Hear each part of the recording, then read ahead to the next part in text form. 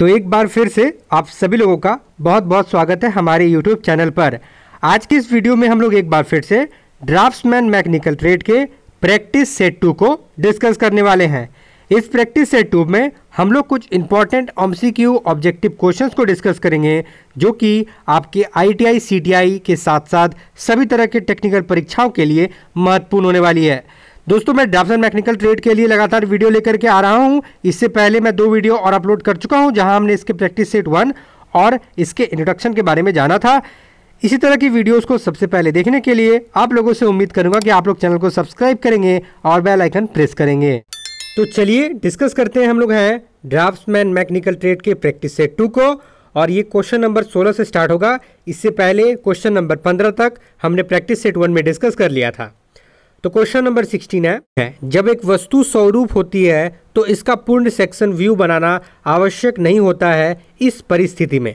यानी कि when the object is symmetrical it is not necessary to create a complete sectional view what type of sectional view is appreciate in the situation यानी कि इन the situation इस परिस्थिति में कौन सा व्यू जो है वो बनाना आवश्यक नहीं है तो इसका सीधा सा आंसर होगा क्वेश्चन नंबर 16 का ऑप्शन नंबर सी यानी रिमूव्ड सेक्शन और आप इस फिगर से रिमूव्ड सेक्शन को अच्छी तरह से देख पा रहे होंगे, और जब मैं सेक्शनिंग का वीडियो लेकर के आऊँगा तो वहाँ मैं इसको अच्छे तरीके से डिफाइन करूँगा.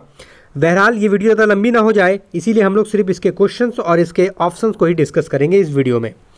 क्वेश्चन नंबर सेवनटीन है the amount of variant permitted from the specified dimension in the manufacturing of a part is called यानी एक भाग के निर्माण में, निर्माण के दौरान किसी विशिष्ट विमांकन से आज्ञापति विविधता की मात्रा डैश कहलाती है। क्या कहलाती है? इसका सीधा आंसर होगा ऑप्शन नंबर बी अलाउंस ठीक है? क्वेश्चन नंबर सेवनटीन का सही आंसर हो जाएगा ऑप्शन नंबर बी यानी अलाउंस क्वेश्चन नंबर एटीन है hole deviation is represented by यानी छिद्र विचलन को डैश से व्यक्त किया जाता है। किससे व्यक्त किया जाता है? तो आप लोगों ने होल डाइवेंशन को पढ़ा होगा कि इसे हम लोग कैपिटल लेटर से रिप्रेजेंट करते हैं और साफ्ट को हम लोग स्मॉल लेटर से रिप्रेजेंट करते हैं।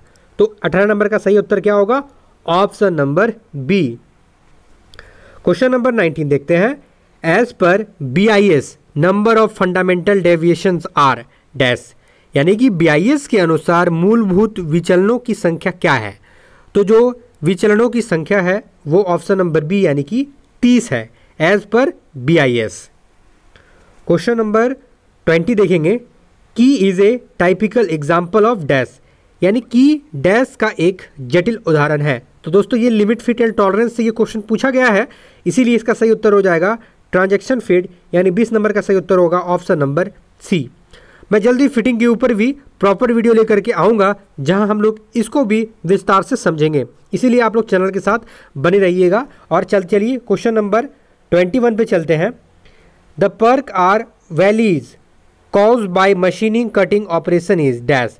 यानी मशीनिंग कटिंग के ऑपरेशन के कारण उत्पन्न शीर्ष और गत गर्त डैश कहलाते हैं। क्या कहलाते हैं? इसका सही उत्तर हो जाएगा वेरीनेस यानी option number A question number twenty two देखते हैं। Which of the following type of friction is generated in journal bearing without lubricant यानी कि स्नेहक के अभाव में जनरल बियरिंग में, निम्नलिखित में से किस प्रकार का घर्षण उत्पन्न होता है? तो यहाँ पे हो जाएगा स्लाइडिंग फ्रिक्शन यानी कि स्लाइडिंग घर्षण, जो कि ए नंबर इसका सही उत्तर है। क्वेश्चन नंबर ट्वेंटी थ्री है why lubrication is necessary in the bearing bearing में स्नेहक क्यों आवश्यक है?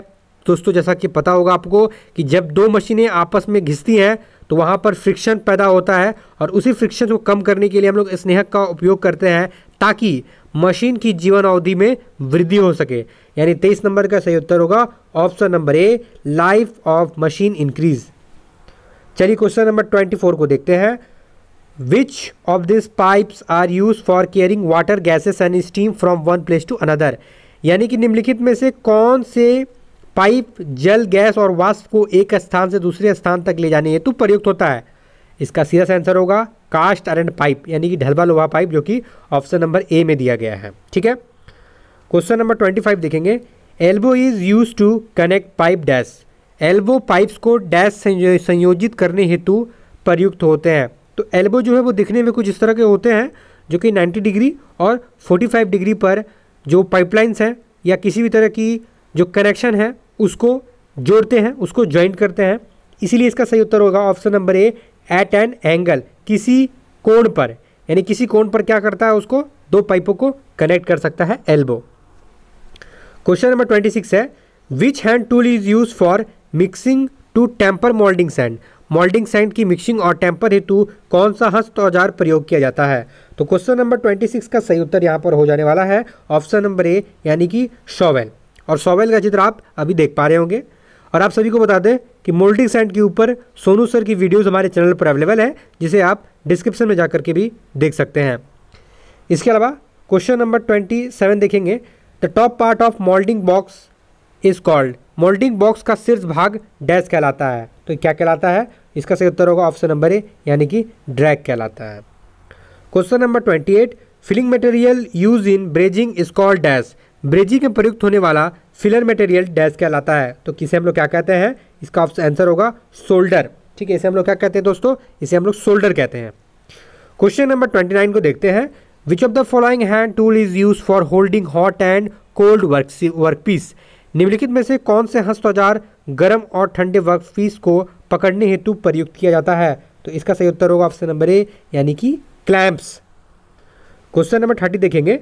Which of the following cylinder is painted black निम्नलिखित में से कौन सी सिलेंडर काले रंग की प्रतिलिपि किया जाता है? इसका सही उत्तर होगा ऑप्शन नंबर ए यानी एसिटिलीन गैस सिलेंडर तो दोस्तों, यहाँ हमने आज प्रैक्टिस से टू को डिस्कस किया। इस वीडियो में उम्मीद करेंगे कि ये वीडियो आपके लिए हेल्पफुल होगी। और इसी तरह की वीडियोस आप आगे देखना चाहते हैं तो हमारे चैनल को कर ले सब्सक्राइब और बेल आइकन को कर ले प्रेस और दोस्तों, इस तरह की वीडियोस को अगर आप लोग डिस्कशन फॉर्म में देखना चाहते हैं तो मैं बहुत जल्द लाइव क्लासेस भी लाने वाला हूँ ड्राफ्ट मैकेनिकल ट्रेड के लिए। तो चैनल के साथ बने रहे। धन्यवाद।